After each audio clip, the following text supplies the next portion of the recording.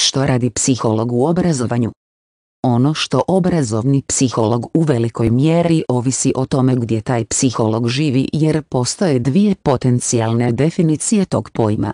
U sadu zabrinjava obrazovni psiholog, obično na institucionalnoj razini, škola, koleđ, distrikt, s koliko dobro postojeći programi učenja služe različitim populacijama u školi i što se može učiniti kako bi se to poboljšalo.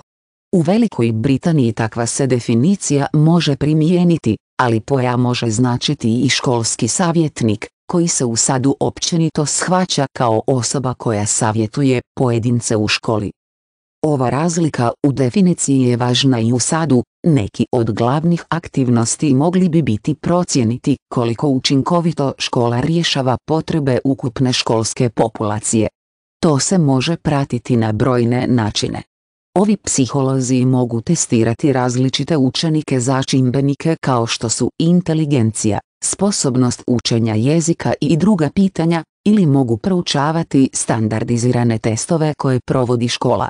Oni također mogu identificirati populacije, rasne skupine, učenike jezika, darovite učenike, učenje djece s teškoćama u razvoju, škole koja ne služi sadašnjim strategijama učenja.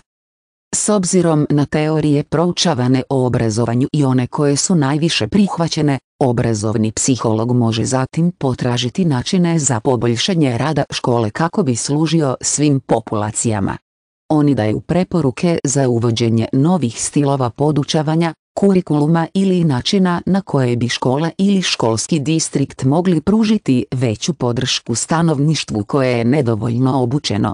Ako škola prihvati preporuke odgojno-obrazovnog psihologa, cilj će biti razvijanje materijala koji će omogućiti nastavnicima stvaranje promjena u nastavnim metodama ili aktivno poučavanje nastavnika i drugog osoblja o tome kako provesti predložene promjene.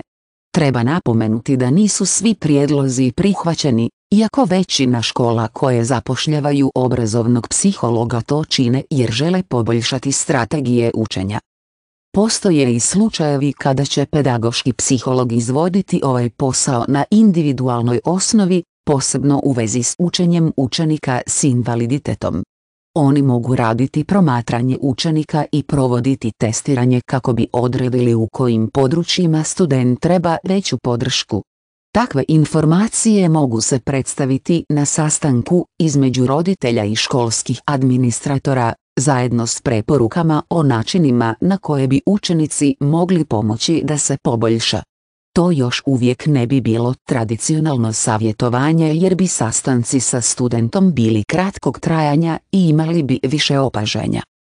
U Velikoj Britaniji obrazovni psiholog može značiti školski savjetnik, u kojem slučaju bi se ovi psiholozi sastali sa studentima i mogli bi raditi nekoliko mjeseci ili više s pojedincima kako bi im pomogli u određenim pitanjima kao što su školski uspjeh, problemi u ponašanju u školi ili drugi problemi. Obično se u sadu to naziva školski savjetnik i dvije uloge se smatraju vrlo različitim, iako s dopuštenjem, školski savjetnik može pomoći u sastancima uspostavljenim za određivanje individualnih obrazovnih planova, IEP-ova. Postoji nekoliko različitih stupnjeva koje osoba može trebati da postane pedagog psiholog. Ovo je jedan slučaj u kojem ljudi mogu dobiti magisterij iz psihologije, iako su obično bolje posluženi ako imaju doktorat iz psihologije. Bachelor's level posao je dobra priprema za ovo područje, ali obično nije dovoljno da opravda zapošljavanje.